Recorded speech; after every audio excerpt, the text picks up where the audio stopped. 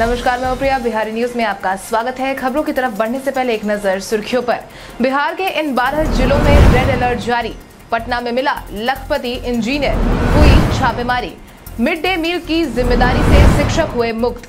बोधगया बालिका गृहकांड की जाँच के लिए टीम का हुआ गठन। शतक और अर्धशतक के साथ रोहित के राहुल ने की उनहत्तर साल पुराने रिकॉर्ड की बराबरी। अब चले बढ़ते हैं बिहार की अब तक की बड़ी खबरों की ओर विस्तार से। पटना में मिला लखपति इंजीनियर हुई छापेमारी। आज सुबह सुबह राजधानी पटना के पुनाईचक इलाके में रहने वाले पथ निर्माण विभाग के कार्यपालक अभियंता के धन कुबेर होने का खुलासा हुआ है। सुबह सुबह निगरानी विभाग ने जब छापा मारा, तब विजिलेंस की टीम ने लगभग 60 लाख रुपए कैश बरामद किए हैं। आलम कुछ यूँ रहा कि नोट गिनने के लिए विजिलेंस की टीम को मशीन मंगवाना पड़ गया। इतना ही नहीं, टीम को कई दस्तावेज़ भी हाथ लगे हैं, जिसकी जाँच फ़िलहाल जारी है। ज्ञातो पथ निर्माण विभाग के कार्यपालक अभियंता हाजीपुर में पोस्टेड है। अभी हाल ही में सरकार ने इसका तबादला पुल निर्माण निगम में किया था। मिड डे मील की ज़िम्मेदारी से शिक्षक हुए मुक्त। बिहार के सभी सरकारी स्कूलों में मिड डे मील देने का प्रावधान है। हालाँकि अब तक इसकी ज़िम्मेदारी स्कूल के शिक्षकों की होती थी, लेकिन अब ऐसा नहीं होने वाला है, क्योंकि मिड डे मील को लेकर छात्रों को मिलने वाले मध्यावहन भोजन को लेकर सरकार जल्द ही बड़ा बदलाव करने वाली है, जिसके तहत ही सरकार अब शिक्षकों को शिक्षा के काम की ही ज़िम्मेदारी देगी, ताकि शिक्षकों का ध्यान केवल शिक्षा मुहैया करवाने में हो। आपको बता दें, हाल ही में शिक्षा मंत्री विजय कुमार चौधरी ने भी केंद्रीय शिक्षा मंत्री धर्मेंद्र प्रधान से मुलाकात मुलाकात के दौरान शिक्षकों को मिड डे मील योजना से अलग करने के लिए मांग की थी। इतना ही नहीं, पटना हाईकोर्ट ने भी इस बाबत सरकार को आदेश जारी किया था। बिहार के इन 12 जिलों में रेड अलर्ट जारी। बिहार में पिछले कुछ दिनों से हो रही बारिश से प्रदेश की ज़्यादातर नदियाँ खतरे के निशान से ऊपर बह रही है। ऐसे में अब एक बार फिर से मौसम विभाग ने अलर्ट जारी किया है। इधर मौसम विभाग ने शुक्रवार के लिए प्रदेश के 12 जिलों में रेड अलर्ट जारी कर दिया है। साथ ही मूसलाधार बारिश की बात भी कही गई है। इसके साथ ही कई जिलों में वज्रपात की आशंका भी जताई गई है। मौसम विभाग की तरफ़ से जारी अपडेट में बताया गया है कि सुपौल, अररिया, किशनगंज, मधेपुरा, सहरसा, पूर्णिया, कटिहार भागलपुर, बांका, जमुई, मुंगेर और खगड़िया में रेड अलर्ट जारी किया गया है। इसके साथ ही बारह अन्य जिलों में ऑरेंज अलर्ट जारी किया गया है। इन जिलों में मध्यम बारिश होने की संभावना जताई गई है। इसके साथ ही मौसम विभाग ने अगले बहत्तर घंटों तक के लिए बारिश का अपडेट जारी कर दिया है।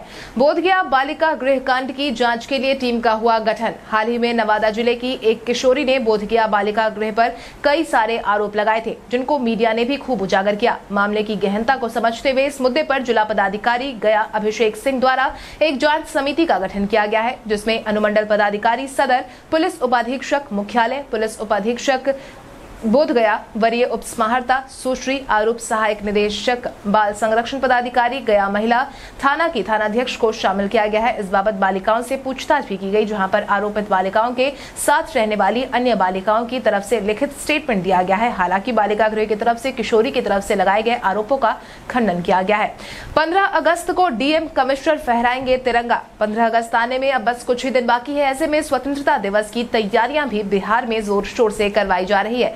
इसी बीच अब 15 अगस्त को जिला और प्रमंडल में झंडोत्तोलन को लेकर बिहार सरकार ने अपना आदेश जारी कर दिया है, जिसके तहत सरकार ने साफ़ कहा है कि देश के पचहत्तरवें स्वतंत्रता दिवस के मौके पर जिला और प्रमंडलों में केवल डीएम और कमिश्नर ही झंडोत्तोलन करेंगे। इस संबंध में कैबिनेट सचिवालय ने सभी प्रमंडलीय आयुक्त और जिला पदाधिकारी को पत्र जारी कर कहा है कि कोरोना संक्रमण के मद्देनजर स्वतंत्रता दिवस समारोह के आयोजन के संबंध में 13 जुलाई 2021 को जारी पत्र का अनुसरण करें और सरकार की तरफ़ से दिए गए दिशा निर्देश के अनुरूप ही काम करे।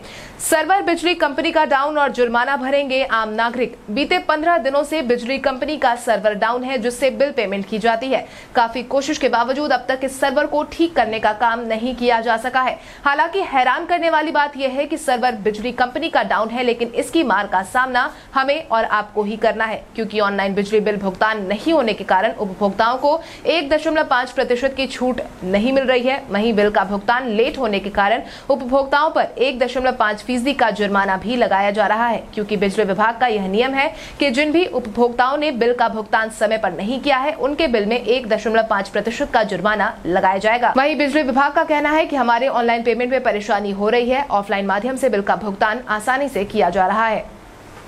बिहार के दो जिलों के एसएसपी और पाँच आईपीएस अधिकारियों को किया जाएगा सम्मानित। बिहार के लिए गौरवान्वित करने वाली खबर है, जहाँ एक तरफ़ बिहार पुलिस पर काम नहीं करने को लेकर अब तक कई आरोप लगाए जा चुके हैं, वहीं अब बिहार पुलिस महकमे के दो जिलों में एसएसपी समेत पाँच आईपीएस अधिकारियों को सम्मानित किया जाएगा, जिसके तहत ही अपनी सेवा के दौरान बेहतरीन योगदान करने वाले बिहार के पाँच आईपीएस अधिकारी समेत सात पुलिस अफसरों को केंद्रीय गृह मंत्री पदक से सम्मानित किया जाएगा। इन अधिकारियों को medal for excellence in investigation 2021 से नवाजा जाएगा। निताशा गुड़िया, बाबूराम हरिप्रसाद, नीलेश कुमार, योगेंद्र कुमार, उग्रनाथ झा, मोहम्मद नियाज अहमद का नाम इसमें शामिल है। इस बाबत डीएसपी एस के सिंघल ने सभी अधिकारियों को बधाई दी है। केंद्रीय रिज़र्व पुलिस बल सीआरपीएफ ने निकाली रिक्तियाँ। केंद्रीय रिज़र्व पुलिस बल सीआरपीएफ ने पैरामेडिकल स्टाफ की कुल मिलाकर दो पद पर आवेदन की मांग की है। इन पदों के लिए शैक्षणिक योग्यता की बात करें तो अभ्यर्थियों को फार्मेसी में डिप्लोमा, डिग्री के साथ A R B S F CRPF ITBP SSB के सेवानिवृत्त केंद्र सरकार के कर्मचारी होना अनिवार्य है। इच्छुक और योग्य उम्मीदवार 13 से 15 सितंबर 2021 के बीच आधिकारिक वेबसाइट crpf.gov.in पर जाकर आवेदन भर सकते हैं। इसके साथ ही आप इन पदों से जुड़ी तमाम जानकारी नीचे डिस्क्रिप्शन बॉक्स में दिए गए वेब लिंक पर जाकर ले सकते हैं। मुख्यमंत्री के बाद अब तेजस्वी यादव ने पीएम को लगाई गुहार। इन दिनों जातीय जनगणना का मुद्दा गरमाया हुआ है, जहाँ एक तरफ़ इस मुद्दे पर जदयू और विपक्षी दल के मत एक है, वहीं दूसरी तरफ़ इस मुद्दे पर भाजपा ने अपना विरोध दिखाया है। वहीं हाल ही में मुख्यमंत्री नीतीश कुमार ने जातीय जनगणना के मुद्दे को लेकर प्रधानमंत्री से बातचीत को लेकर वक्त की मांग की थी, लेकिन केंद्र ने उनकी इस मांग को अनसुना कर दिया। वहीं अब तेजस्वी ने इस मुद्दे को लेकर पीएम के नाम पत्र जारी किया है। इस मुद्दे पर तेजस्वी यादव ने कहा कि आज मैंने भी पीएम मोदी को पत्र लिखा है और उनसे मिलने का वक्त मांगा है। इसको लेकर पत्र जारी कर दिया गया है। जारी किए गए पत्र में जातिगत जनगणना को लेकर अपना पक्ष रखा गया है। वहीं इस दौरान उन्होंने सीएम नीतीश पर तंज भी कसा, जिसके तहत नेता प्रतिपक्ष तेजस्वी यादव ने कहा कि बिहार में डबल इंजन की सरकार चल रही है। इस सरकार के मुखिया को पीएम मोदी मिलने का वक्त नहीं दे रहे ऐसे में ये मुख्यमंत्री नीतीश कुमार का अपमान है। राष्ट्रीय राजमार्गो को लेकर पटना हाईकोर्ट ने की सुनवाई। पटना हाईकोर्ट ने आज राष्ट्रीय राजमार्गो से संबंधित कई मामलों की समीक्षा और सुनवाई की इस दौरान हाईकोर्ट में चीफ जस्टिस संजय करोल की खंडपीठ ने हाजीपुर, मुजफ्फरपुर राजमार्गो के मामले पर सुनवाई की। इस दौरान खंडपीठ ने राष्ट्रीय राजमार्गो के आसपास से अवैध कब्जों को मुक्त कराए जाने की बात कही है। साथ ही ज़मीन खाली कर राष्ट्रीय राजमार्ग प्राधिकरण के हवाले करने का आदेश भी जारी किया है। इसके साथ ही हाईकोर्ट ने ज़मीन का पैसा ज़मीन मालिकों को देने का निर्देश दिया है। ज्ञात हो, पिछली सुनवाई के दौरान यह आदेश दिया गया था कि हाजीपुर स्थित रामाशीष चौक पर सभी अवैध कब्जे खाली कराए जाए, लेकिन वहाँ के जिलाधिकारी एवं एसपी द्वारा न तो बस स्टैंड और न ही टेंपो स्टैंड खाली करवाने में कोई भी प्रतिक्रिया की गई। जुर्माना देंगे, लेकिन नहीं सुधरेंगे पटनावासी। बिहार में एक बार फिर से विशेष वाहन जाँच अभियान की शुरुआत कर दी गई है। हालाँकि ये तो अभी कुछ ही जिलों में की जा रही है, लेकिन इसमें पटना ज़िले का नाम भी शामिल है, जिसके तहत बीते दिन किए गए वाहन जाँच अभियान में सात सौ छियानवे वाहनों का चालान काटा गया है। उन वाहनों के चालकों से आठ लाख पैंतीस हज़ार पाँच सौ रूपए जुर्माना वसूला गया है। सबसे ज़्यादा वाहन चालकों को हेलमेट नहीं पहनने और सीट बेल्ट नहीं बांधने पर चालान दिया गया है। यातायात पुलिस द्वारा 10 दिन का विशेष जाँच अभियान चलाया जा रहा है। इसके साथ ही सरकार ने सभी स्कूल बस, वैन और ऑटो में सभी को कोरोना गाइडलाइन का अनिवार्य रूप से पालन करने का निर्देश भी दिया है। बिहार में चार विषयों के शिक्षकों के नहीं मिलने का किया गया दावा।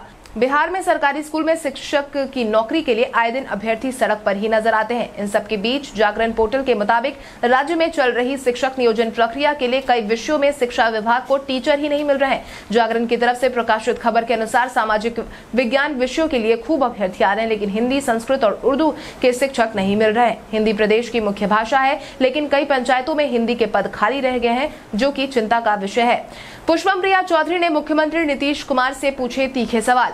समय समय पर राजनीति में एक्टिव होने वाली पुष्पम प्रिया चौधरी ने इस बार मुख्यमंत्री नीतीश कुमार को सवालों के कटघरे में खड़ा कर दिया है, जिसके तहत खुद को मुख्यमंत्री उम्मीदवार बता चुकी पुष्पम प्रिया चौधरी ने बाढ़ के मुद्दे पर सवाल पूछते हुए कहा कि अब मुख्यमंत्री जी आईपीएल खेलने का समय गया, अब सवाल का जवाब देने की बारी है। इसके साथ ही उन्होंने ईटीवी भारत से बातचीत के दौरान कहा कि बिहार में पिछले बारह सालों से कटाव की समस्या गंभीर है और इस दौरान मुख्यमंत्री के तौर पर नीतीश कुमार है। अब आईपीएल खेलने की ज़रूरत नहीं है, बाढ़ में जिनकी ज़मीन कट गई है। क्या उन्हें अब तक ज़मीन मिल पाई है? घर नहीं होने के कारण जो लोग स्कूल में आश्रय लिए हुए हैं, वहाँ रसोई घर बंद है। सरकार ने बाढ़ पीड़ितों की मदद के लिए क्या क्या किया है?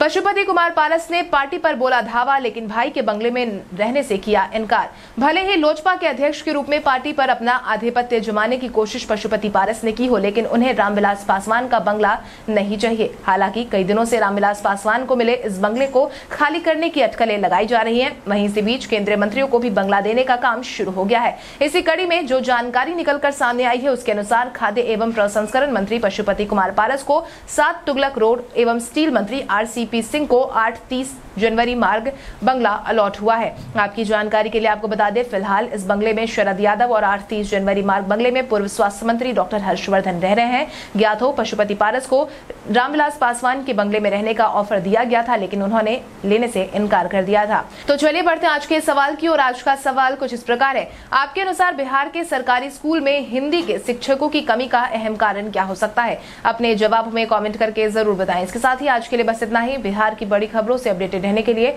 हमारे यूट्यूब चैनल को सब्सक्राइब करें और बेलाइकॉन दबाना ना भूलें। धन्यवाद।